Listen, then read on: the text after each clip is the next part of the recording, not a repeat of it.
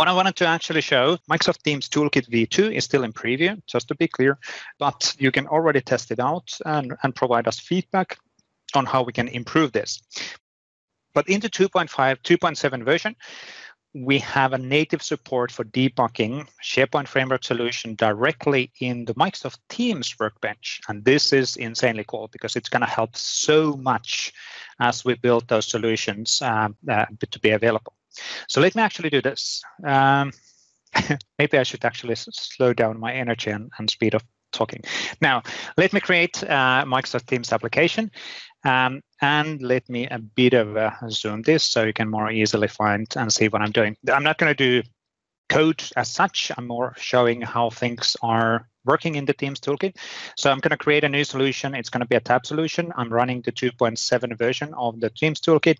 And the question number three is basically, are you looking into hosting or are looking into building a Teams tool, team solution which is hosted in Azure, or do you want to take out uh, advantage of automatic hosting and still implement your stuff using TypeScript and all of the web stack development tooling? And that's what we want to do here, so we don't have that complexity of designing cloud-hosted solution. Again, matter of opinion. And in many cases, if you have already an existing solution, then you're bringing that to the Microsoft Teams. You don't necessarily build SharePoint framework solution. Now, let me create a, a solution which is a normal Java, uh, plain TypeScript, not using React. And let's call this uh, TypeScript. I can't write. It's pretty typical. TypeScript and debug uh, demo as the solution. And let's call that debug uh, demo. And I will select the folder and I will go two step up and I will create a folder TypeScript uh, demo. Hopefully there's nothing confidential visible in the left navigation. It's good to call that out though, so that you're really paying attention on it. So let's give the application name a name. At least I'm not showing hopefully any passwords as I'm doing that. Um, we've had that in the Ignite a few years back. So let's call this a debug uh, demo. And Pat Miller still hears about that mistake, by the way, every single time he's presenting. Now, I'm going to trust authors. This is my solution. It created me the solution uh, with an example structure for SharePoint Framework. Uh, the structure is a bit different as we're using the Teams toolkit because we have the, the app package. Let me actually extend, the extend that.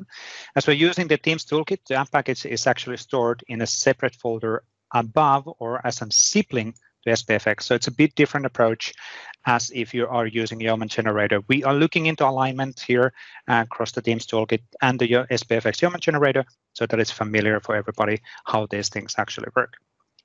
Now, if you are familiar with SharePoint Framework, you're familiar that how the structure will look like. We have a web part. In this case, we created the web part. It's TypeScript standard web stack development. I can do debugging, all of that stuff. Um, as I'm opening this up, um, you pretty much, or maybe you noticed, it was insanely fast to get this one up and running. And that's because we didn't run npm install yet. And that's also the reason why we're still getting missing declarations and all of that stuff in here. So we're kind of a one way of making things faster, but then as we're doing development, it doesn't really make us faster. And again, we're looking into adjusting uh, some of this stuff as well based on uh, feedback.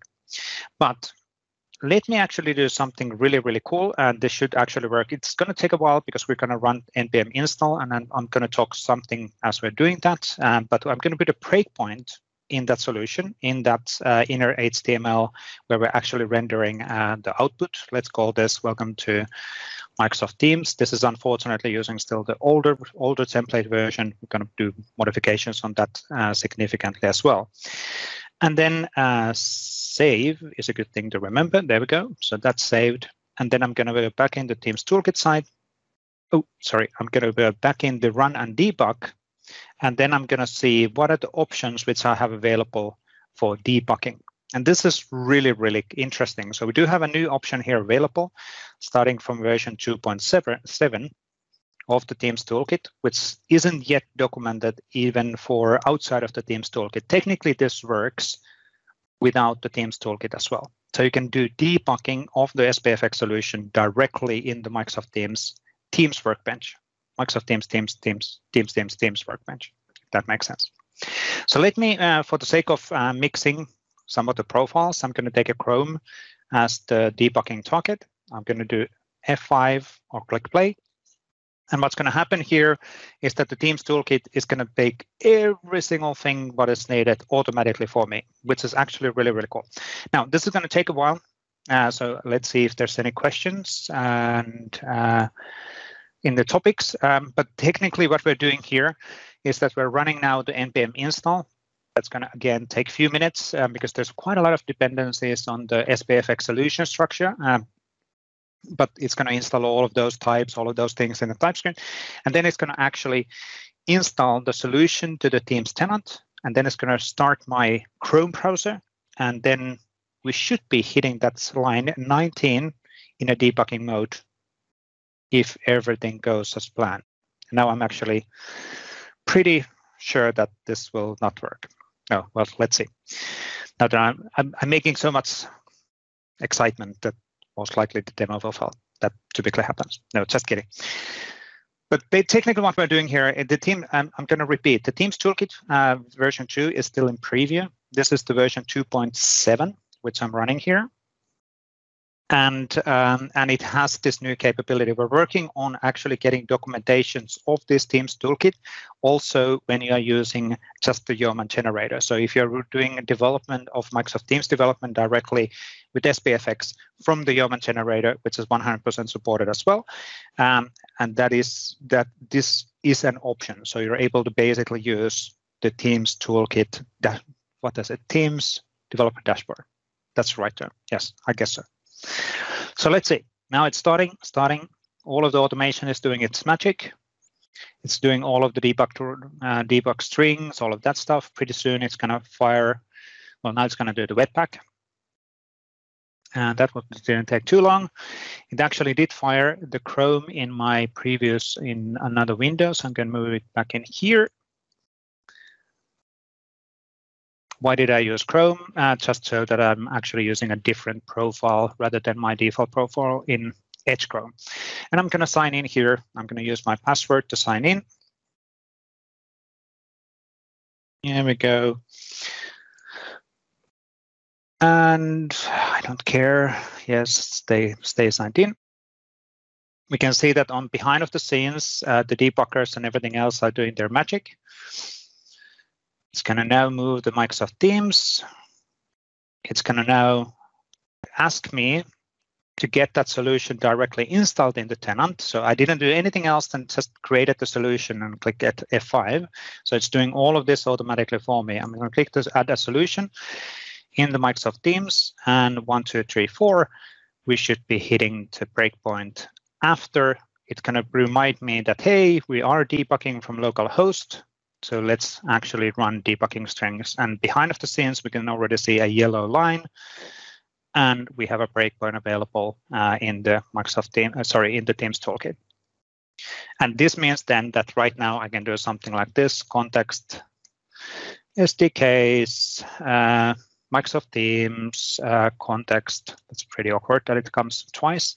And then I can do something like host client type, and it's going to tell me where all of the properties. So basically, I'm able to do debugging directly inside of the Visual Studio Code without me really doing any additional tricks or anything like that. And that's actually pretty, pretty cool. Oh, thank you. Uh, Aush Havara, I'm probably pronouncing your name wrong, but thank you, thank you for the feedback. So this is actually really, really cool and it's going to help a lot on, on doing implement the SharePoint framework implementation towards Microsoft Teams, uh, either in the Microsoft Teams toolkit. So again, in the Teams toolkit, we 2.7. Uh, is it 2.7? I guess it is. Let me double check that as well. Uh, which version I'm actually running? There it is. Uh, so it's 2.7. Uh, that's natively included. So it's just an F5 to be clicked. And we are also looking into documenting this for the Yeoman generator. And this is the first time I'm showing this to anybody live. So because we needed to actually have some additional uh, content on the on the session as well. So. So hopefully that's kind of interesting. Uh, please do give us feedback related on Teams Toolkit and how we can improve things. Uh, if you test it out, if something isn't really feeling good or something isn't working, please to, to let us know. Right now, we know that in the Teams Toolkit, we do have a bit of a interesting setup where we're kind of bypassing the SharePoint Framework Yeoman generator. We're looking into alignment there as well. So you could use the Teams Toolkit v2 in the future for creating SharePoint Framework web parts, Microsoft Teams personal application, Microsoft Teams meeting application, Microsoft Teams uh, configurable tabs, or Viva Connection ACEs. So we're looking into having all of the different uh, scenarios available directly in a single tool. And that should certainly help rather than having multiple competing tools and, and um, things to install available, just one. And then it's matter of do you want to have your application hosted in Azure or in Microsoft 365, and that's then defining the experience. Cool. Now I have to ask if somebody was following up on the chat. Did I miss any any good questions and, and things and uh, which I didn't answer? So there's a good question from our Rush here. Uh, SharePoint Toolkit will be also there in the future. What we're looking into doing is, is basically having a one uh, toolkit. Uh, so we're working with the Teams Toolkit v2 uh, people rather than introducing a, SharePoint toolkit and a Microsoft Teams toolkit and a Viva Connection toolkit and whatever comes to mind toolkit and something what we're going to release maybe in a year toolkit. And let's have one. And then it's a matter of where do you expose your components? What are you actually building? Uh, it's going to provide all of the different options. The Teams toolkit traditionally, obviously, was targeting Teams only. Um, Viva Connection is a really good example of a of a experience which is Microsoft Teams and SharePoint and OneDrive all together. So we're trying to get away from this uh, isolated, you need to select a service or select a tool rather to a, what are you implementing? This is the tool, what you can do. Uh, there's a question, how can we use this workbench for developing uh, bots on Teams, not just tabs? Could you please document this as well? So there is a, a really good documentation actually available already on the Teams toolkit uh, on the on the creating of the of the bots as well. Now, word of reminder, Teams toolkit uh, v2. So there's documentation already available on this. It is still in preview, so it's not yet GA'd, uh, so it's basically intended to be used not in production. Uh, so we're, we're hoping that people would actually use uh, use this tooling, provide us feedback, and then we can release that um, uh, available. Um, there are multiple ways of doing then uh, multiple things what you can do with the, do with the Teams toolkit, including creating bots and other experiences as well. So there is a support for bot and Teams and tabs already available, and it's really really easy for sure to get started on it. Then.